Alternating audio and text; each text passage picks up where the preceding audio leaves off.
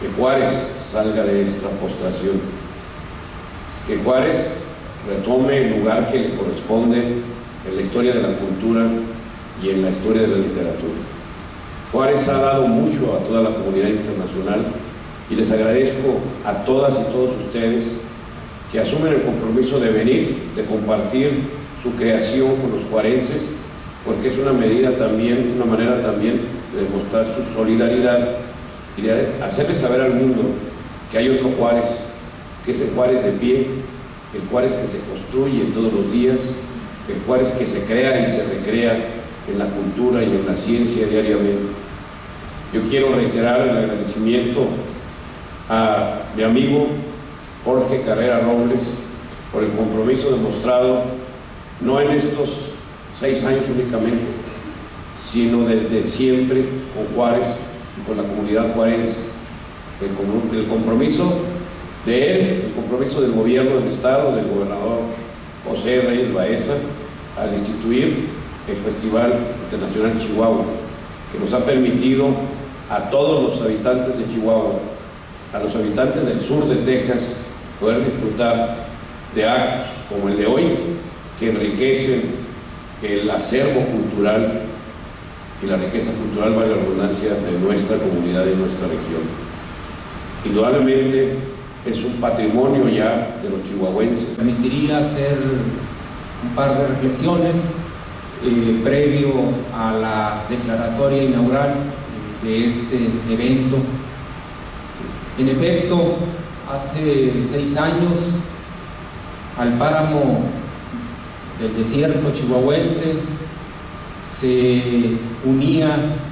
la desolación de fierros viejos y abandonados, un edificio maloliente quedado a unas tres cuartas partes de su parte central eh, en obra civil y una comunidad dolida por el abandono en términos de una de sus demandas principales que era la atención a la cultura y las artes. Era inimaginable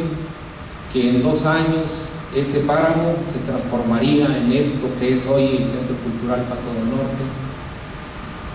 Y era inimaginable también que pudiéramos nosotros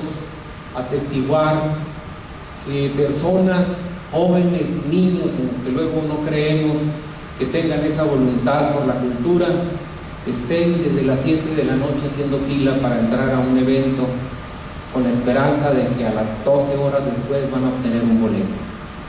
No es, a mi juicio, un problema o una situación de buscar un, un boleto por el boleto mismo, sino es la gran voluntad y el, del convencimiento de, de que la cultura y las artes en este momento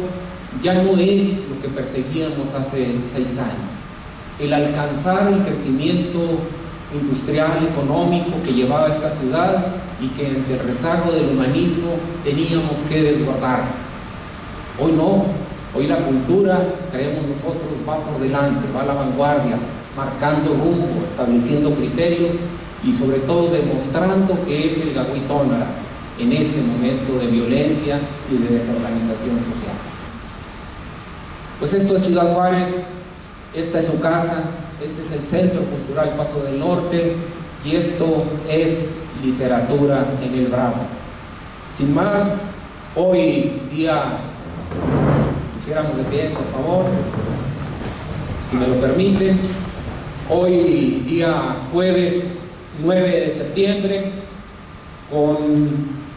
el más sentido de los agradecimientos quienes colaboramos en el Instituto Chihuahuense de la Cultura, específicamente desde el Festival Internacional. Eh, agradecemos su presencia, su colaboración y declaramos formalmente inaugurada la edición 2010 de Literatura en el Bravo. Muchas gracias y éxito.